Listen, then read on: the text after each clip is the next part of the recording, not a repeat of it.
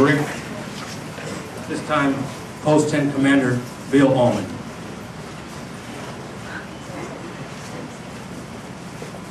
Good morning. Welcome aboard.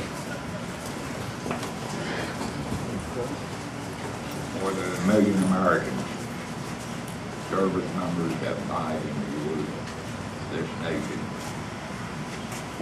That's what the first Colonial soldiers of 1775. From the Revolutionary War till the day, men and women have served to lead chief we love much, God, country, and family. That is why we're, we are gathered here on Memorial Day to honor the memory of all who served, and especially the memory of those who fell so that freedom might live. After reading, after reading countless letters poems written by soldiers at the front historians of the American Legion feel there are four basic reasons why Americans answer our nation's call to arms and put their lives in harm's way. Do it to preserve a strong national defense, to keep America safe and secure against those enemies who would destroy our way of life.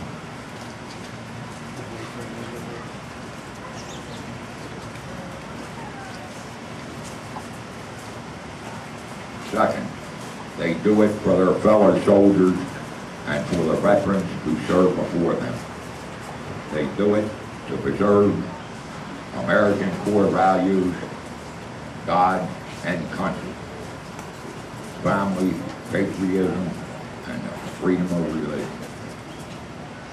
They do it for, they do it for their children so that they can grow up to, to be an American that is strong and free.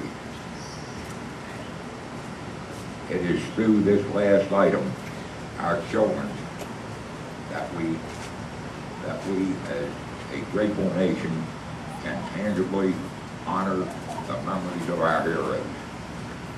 According to the recent article in the Newsweek, more than 1,200 U.S. citizens have lost their parents in Iraq and Afghanistan.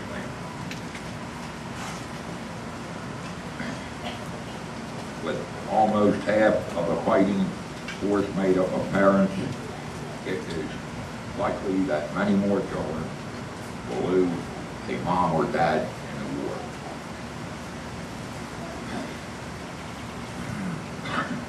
Life as these children have known it will never be the same. In most cases, their chances of attending college will greatly diminish. That is why the American Legion our uh, honors our fallen heroes with the American Legion Scholarship Fund. The only day in the year we as a nation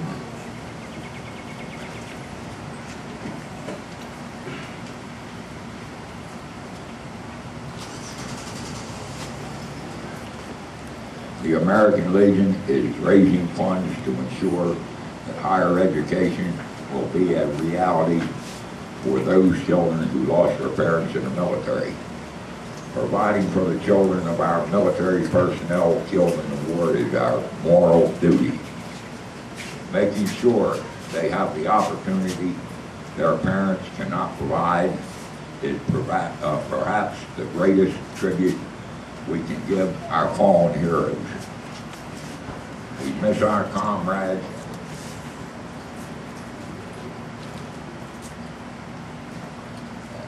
of all war who laid down their lives for our country.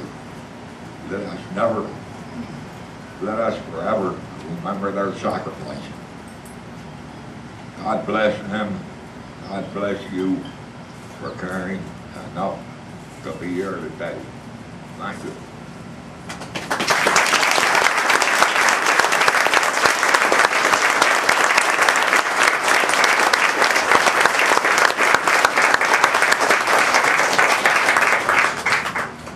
Thank you, Commander Allman.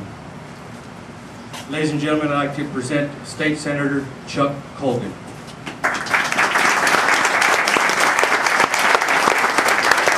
Thank you. Good afternoon, everyone. I don't know how many of you might have visited the D-Day Memorial in Bedford, Virginia. But for those of you who haven't, I hope you will. Uh, The D-Day Memorial is in tribute, in- built in, in- in Bedford in tribute to 21 sons of Bedford who gave their lives on December 6, 1944, the invasion of Normandy. 21 young men, all from the same small town. What a sacrifice that was, that town. Uh, If you go, if you go to, there were, there were- uh, two brothers, I should say, uh, that participated, that participated that year, that day, and both died. One of them had, his body was missing, couldn't find him, the other, the other, the other one did find him. Uh, But sometime later, a soldier, several days later, a soldier found the Bible of the missing boy. And inside that Bible was the name and address of his sister. So the soldier sent the Bible to his sister.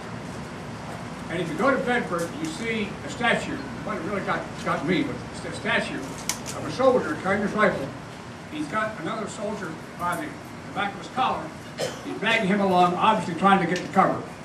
And the boy, he, the soldier is dragging, has a Bible in his knapsack, and the Bible is falling out of the knapsack onto the ground.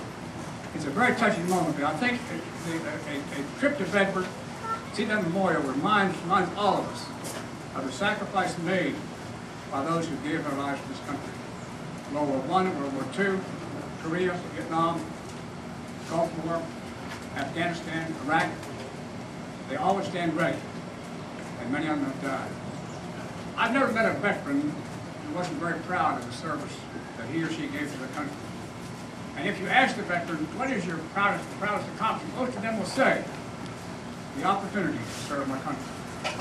So to them, I, I say to you, uh, thank you. Uh, I'm a member, I'm a, a member of Post 10 myself, I forgot my hat today, nevertheless, so I, can- I I thank Post 10 for this annual event that you sponsor, and uh, I think it's a, a great thing that you do. Thank you very much. Floor.